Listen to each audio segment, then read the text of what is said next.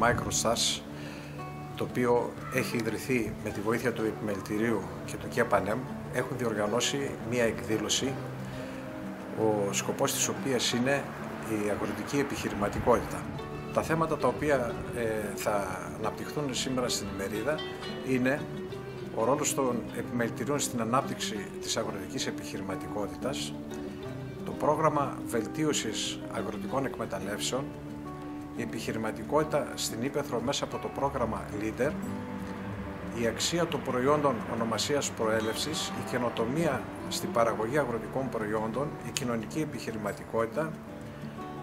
σχέδια αγροτικών βελτιώσεων και μεταποίηση αγροτικών προϊόντων, μικροπιστώσεις και ανάπτυξη μικρών επιχειρηματικών